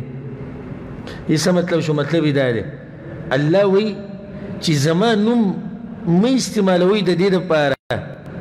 چې قسم دی وخوړو زه به د خیر کار نه کوم او نوم دی بګره چا استعمال کو زما الله وی نو دا زیاته کوي تاسو د الله نو قدر کوي ګر د الله د نوم تعظیم او اکرام وکړي هغه به د خیر او د اصلاح او د تقوا نه معنی خو نه جوړي لکه یو سړی قسم وخوري چې قسم مې د په الله باندې د پلاني تپوس به زه نه کوم زیاتې دي وکړه د الله د نوم به ادبي دي وکړه نو د الله نوم ته نښه او هدف وګرځو د نیکۍ د نه کولو لپاره په دې ولې سیریږي نه دا اوس نوم د الله استعماله هو ناشنا خبره ده ده چې هم د دغه الله د کوم الله نوم چې دی واغستو قسم دی وخورو هم د دغه الله په نافرمانی کې استعماله دا څومره ظلم شو په الله مې دې قسمي چې زه به دا کار کوم هم دې کار نه خو ته الله منع کړی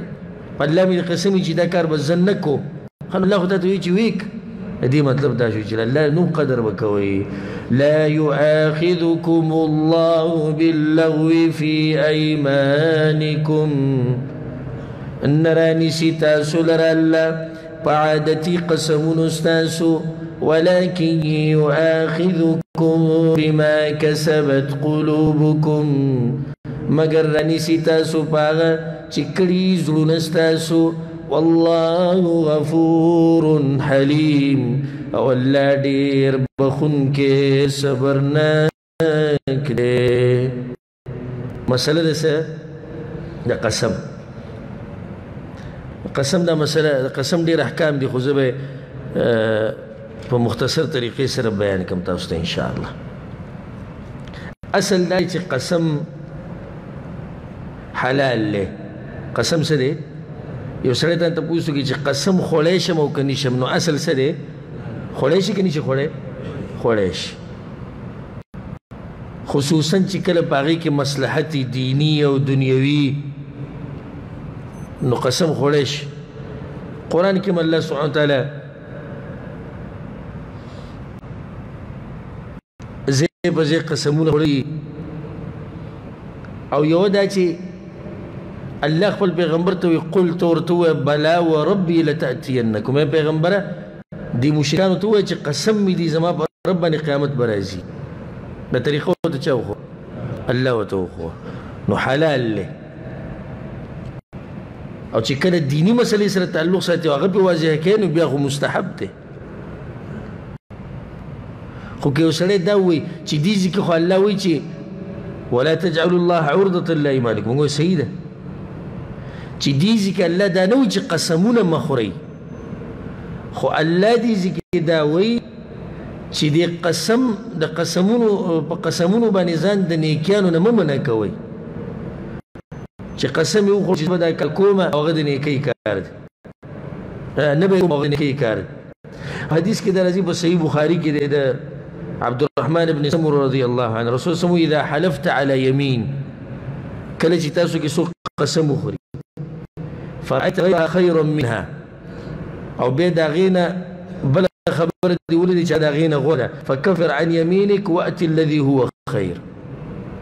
کفاره ورکه او دغه کارو کوم چې دغه نه غوړي لکه یو سړی دا وې چې زبا د پلاني رور خواله نه زما اوس بس کوي دي ها قسم به مات کی کفاره به ورکی او غوره کار به وکي غوره کار څه دی داغه ته پوسلتله به دا مسله د ساتي چی قسم په دروغو سره خوراک د ګناه کبیره ده چې سړی قسم خوري په دوه د ګناه کبیره ده او رسول صلی الله علیه وسلم په صحیح بخاری کې د روایت ته عبد الله بن عمرو رضی الله عنهما رسول صلی الله علیه وسلم ویجی الكبائر غټ ګناونه دادی الاشراک بالله د الله سره شریک جوړول او حقوق الوالدین مور پلار خیال نه ساتل او قتل النفس او په حق یو انسان وجل والیمین الغموس او هغه قسم چې انسان له غوپه ور کوي پس کې په جهنم کې نو په دروغ قسم ګناي کبیره ده او ګناي ډیریږي چې کله خو د دوه قسم وخورو او دم چې د چا حق دی په وخورو نو ګناه وسه شو ډبل شو یو خو هغه چې قسم وخورو څنګه صرف په درو دی بل قسم وخورو په درو او دریم کاری سو کو ها پر دې حق به کې وخورو ځکه حدیث کې د رسول عبد الله بن مسعود رضی الله عنه روایت ته چې رسول الله صلی الله علیه وسلم من حلف على يمين يقتطع بها مال ما امرئ مسلم لقي الله وهو عليه غضبان چې چا قسم وخوړو په دروغ دې لپاره چې مسلمان مال وخوري قیامت پر ورځ به د الله سره په دې صحت مقات کې چې الله به ورته په غضب کړي بله مسله قسم چې خوري نو صرف پیدا الله په نوم خوري او د الله د نوم نه علاوه د بل چا په نوم باندې قسم خوراک د شرک دی امام ترمذی رحم الله دا روایت راوړی عبد الله بن عمر رضی الله عنهما من حلف بغیر الله فقد اشرک چې د الله د نوم نه علاوه د بل چا په نوم قسم وخور د شرک نو د بچو د سر قسم د خزي د سر قسم په بابا او پیر او په درگاه والا باندې او په دربار والا باندې قسم او په کعبه باندې قسم دا بس خلک کعبه باندې قسم غرنه ته بسوي د کعبه پر رب د کعبه پر رب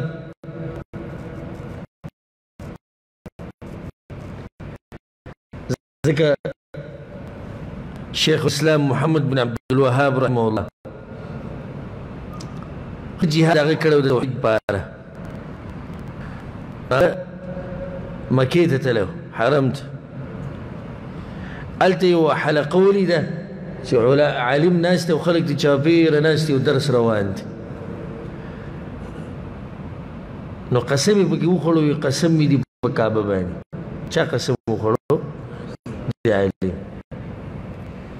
ناغوی چې وزه څنګه ته ویم ایم ته خبره ولا دا مسله د عوامو ته دی جدا طریقه اب سره هغه لک سات پر تاسو اجازه دي زبتا سره سبق کوم دا اخرنی صورتونه بتا سره اړو هغه دې سیدی چې ټیمی وایي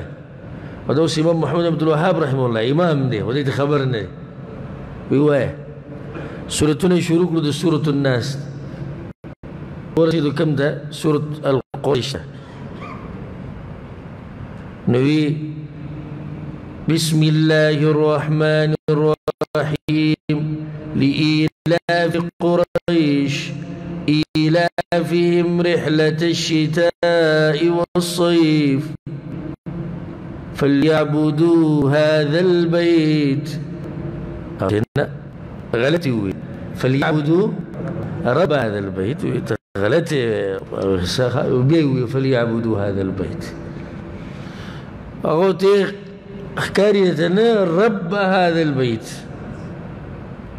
د دې کور د رب بندگی وکې ته څنګه کعبه بندگی کې هغه ته مولوی سپرو هم دې کور باندې قسم وخوړ نه کور پر رب دې ولې قسم نه خو سیر ته کوي ته ماته مولا ښکاري عام سړی نه ځکه چې دا مسله چې تا راویستنه په دې طریقه هغه پوه کړو از دا فائدې ذکر کړه چې قسم په کعبه باندې خوراک د سره شرک ته ناروا دي چې کعبه په خپل مخلوق ته کې خالق دی مخلوق ته نو چې ته قسم خورې ته دې سی وایه په د کعبه پر رب مې دې قسمي خو دې نه چې په کعبه مې دې قسمي شرک دی بل مسله چې قسم په دوه قسمه یا دې سی وایو درې قسمه باندې یو هغه قسمی چې هغه ماضی کې په یو کار باندې یو کار شوی او دته الیمین الغموس وای لکه یو سړی قسم یې وخوړو په دروغو په مازی کې وی زما دی په الله باندې قسمی چې ما په پلانی لا درې سو ریاله ورکړو او ورکړي نه دي نو دا ګناه کبیره ده ګناه کبیره ده خو کفاره به کفاره پښتي تصویر کې کو دی کفاره پی نشته مازی کې دی نو په باندې توبه ده او د د چې رقم قسم خړلې رسول سموي دا قسم دی چې په جهنم کې سړي لغو پور کې او دا ډیر قسمونه او په دروغ قسمونه دا ور منافقت علامت هم دی ور منافقان قسمونه ډیر زیات خوري به ضرورت دویم قسم قسم هغه دی چې یو سړی قسم وخوري په یو کار باندې پر روان وخت کې چې یا به کوم یا به نه کو نه که رښتیا یې وخورو صحیح ده پوره کو خبره ختمه شو خو که یو سړی دا ووایي چې زما دې په الله باندې قسمي چې زه به د پلاني ګاډي ته نه خېجم دا مستقبل دی که ماضي دی مستقبل له او دی ګاډي ته دی اوختو قسم مات کو نو توبه پیدا توبه خو په دې کې ګناه وکړه سې چې هغه پوره نه کړ او دا غي سره سبس کوي کفاره به ور کوي او کفاره لرازم دریم قسم قسم هغه دی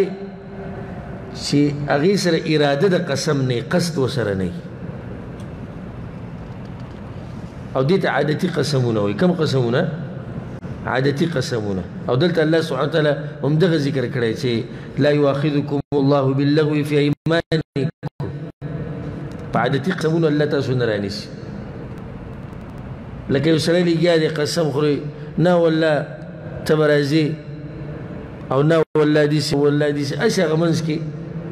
اراده نه چې په قسم خورنو په دې قسمونو باندې الله ته نسی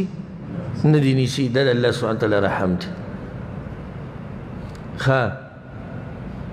نو په دې یمین لغو یمین چې په دې کفاره نشته کفاره په هغه کې اما چې ذکر کو کم یو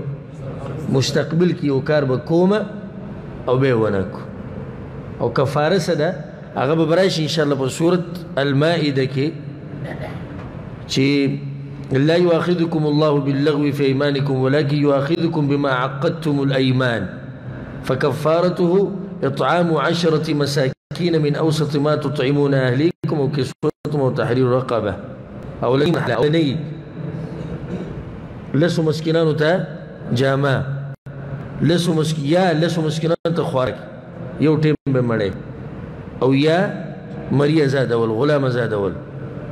نو غلام آزادول خو نن سبا نشته پاتې دوه شو یا لسو مسکینانو ته خوراک یا لسو مسکینانو ته جامه اولنی مرحله دا ده دا ګوره غلطي غلطي کې دا خلک او غلطه مسله بیانې کم چې داری کوی درې ورځې روزه بنی سي نه اول به موږ دې سړي ته سوې چې پتا باندې سړي یا لسو مسکینو خوراک یا لسو مسکینو له جامع چې کوم دی یا مطلب د اختیار فمن لم یجد الله وی کړه چې طاقت نه دې درې کارونه کې دی یو نه فصيام ثلاثه ايام بیا بسور زروجینی سي درې ورځې درې ورځې روجه به نیسي او دا لازم نه چې پرله پسې وي بلکې جدا جدا یې نیوی شي او دلته بله مسله چې دا کفاره مخکې کولی شي د قسم د ماتولو نه لکه اوس یو سړی دی قسم یې کړی دی چې پلاني خواله به نه ځم اوس وی چې لاړ بشم او دا خو ګناه ده چې زه دې شم چې پلاني خاله به نه ځم لا تلې نه دی لکه قسم لا مات کړي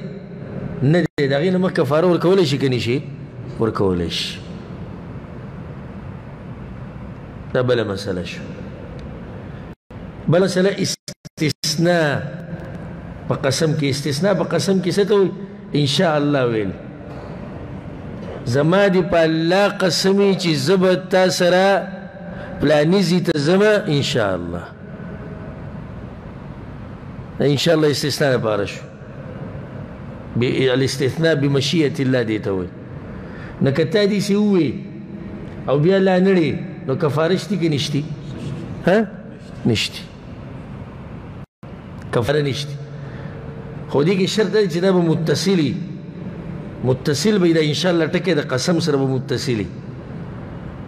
لکه اوس یو سړی دی سیده وی زما دی په الله باندې قسمی چې زه به تاسو سره مازیګر منځنه به پلاني زیته زما لاړ او ګاډي ته وختو کور ته چې ننوتو به وي ان شاء الله ها دا ان شاء الله چلی نه دا نه چلی دغه ټیم کې به متصل به ان شاء الله وي صحیح ده زما دې قسم وي چې زه به تا سره ځم انشاءالله نو انشاءالله ټکی به ورسره وې نو دا یو څو مسلې چې تعلق ساتي د څه سره طلاق سره عفوا د قسم سره والله غفور حلیم او الله ډیر بخون کې صبرناک دی اوس د دې نه بعد مسله راوړي د ایله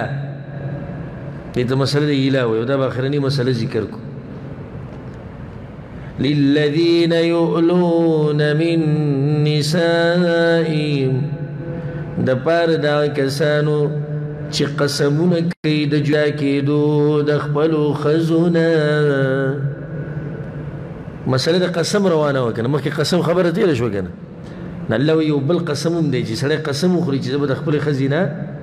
جدا کېږم یا به دې ته نه نږدې کېږم تربص اربعة اشهر انتظار د سلور میاشتو دی فإن فاؤوا نکچت دوی را وګرځېدل د قسم نه فإن الله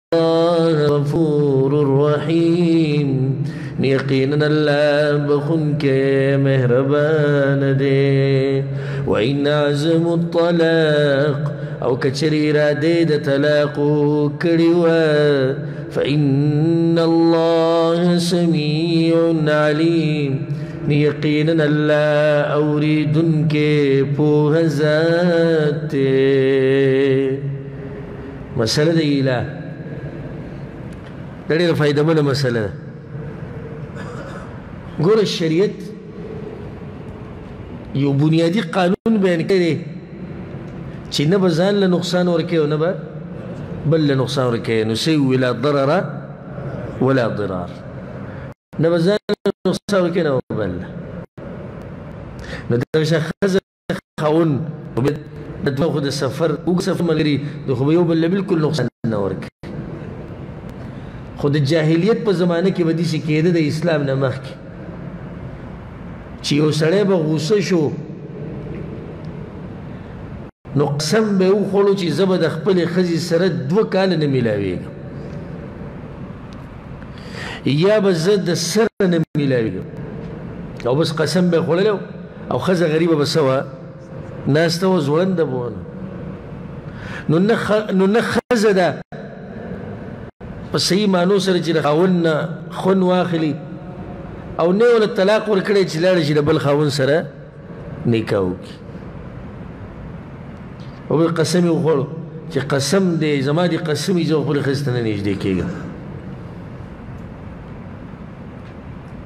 نو دا الله سبحانه وتعالی دا غیر رد کو په دې آیت کې او اله فقها د تعریف دي سي کوي چې قسم د خاون خو د دې خاون چې کورواله کولای شي دا به شرط دی د دې خاون چې کورواله کولای شي دې دې شرط څه ضرورت شته لازم دی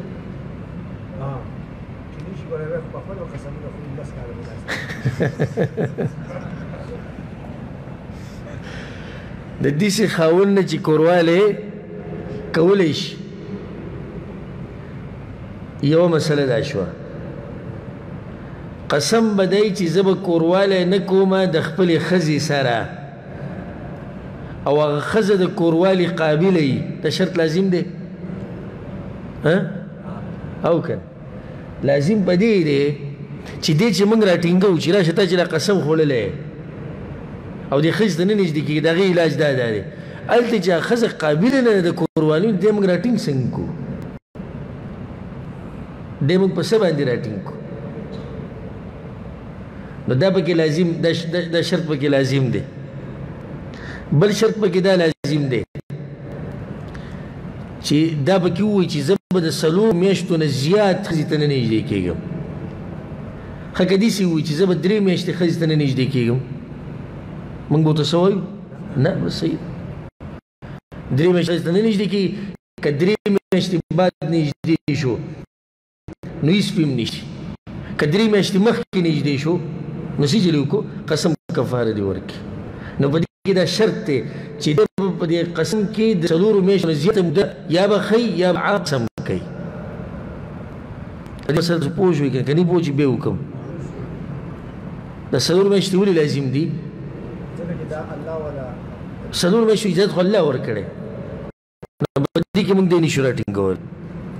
خو که د څلورو نه زیات دی وخی چې وایي چې زما دې قسم وي چې زه به یو کال ښځې ته نه نږدې کړم زما دې قسم وي دوه کاله زما دې قسم وي زه به هېڅ ښځې ته نږدې ټیم کې به راټینګ کوم نو دې ځای کې موږ هغه تعریف وکړو چې یو سړی دی قسم خوري او د سړی د کوروالی څه دی لایق دی د دې سي خزي په باره کې چې هغه د کوروالی لایق ده او وی چې زه به د دې سره د څلورو میاشتو نه زیات یا همیشه دپاره زه به نه میلاوېږم او دا حرام دی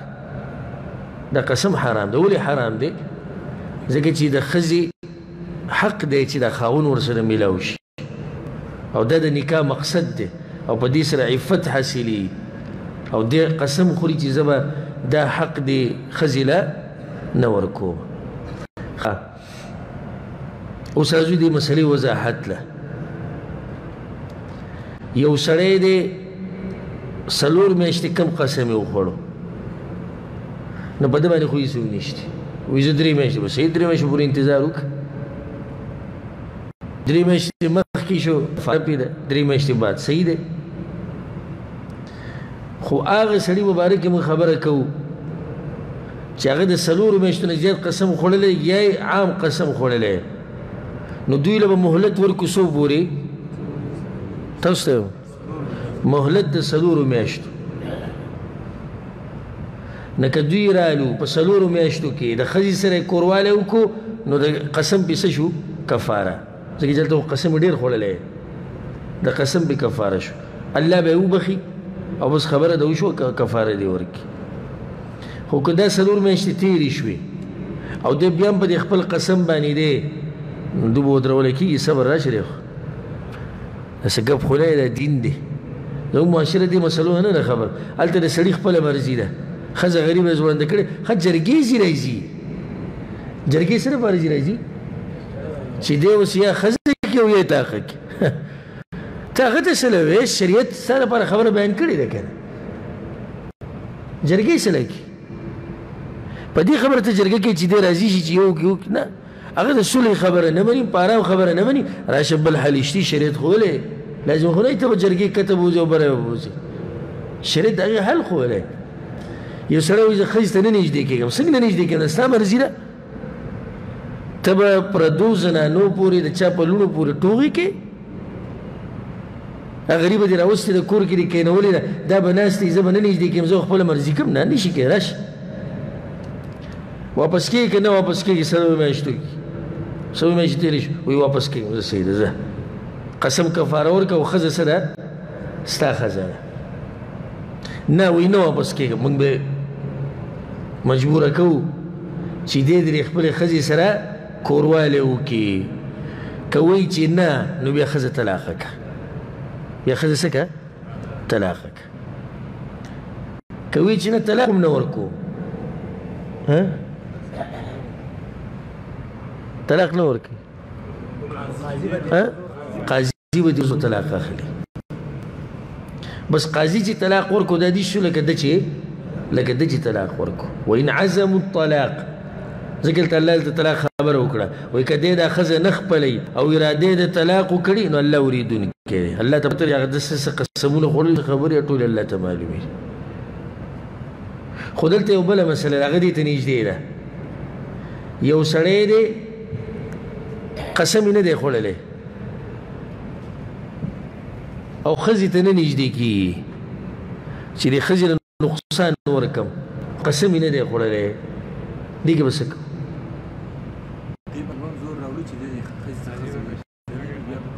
دا مسله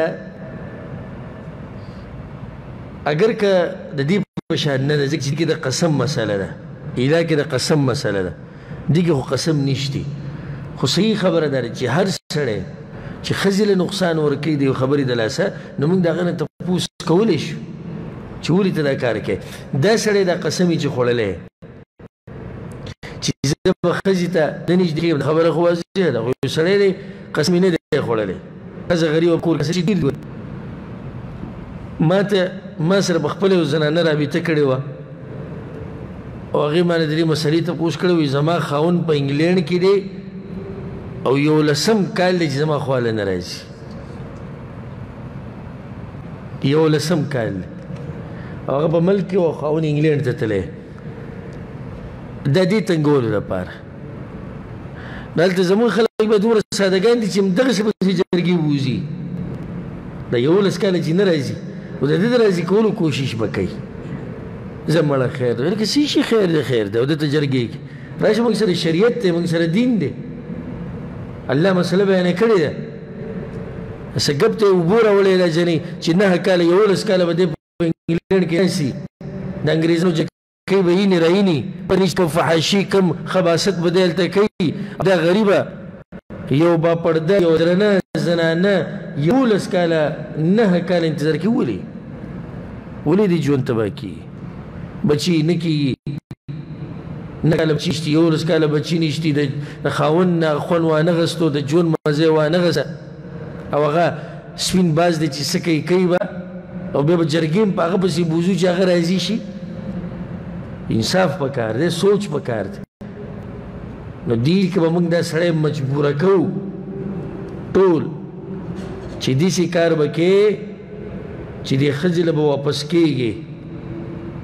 د دې حق به ادا کې دا قصې نه چلیږي ستاده غوره خپه سختۍ سره هیڅ موږ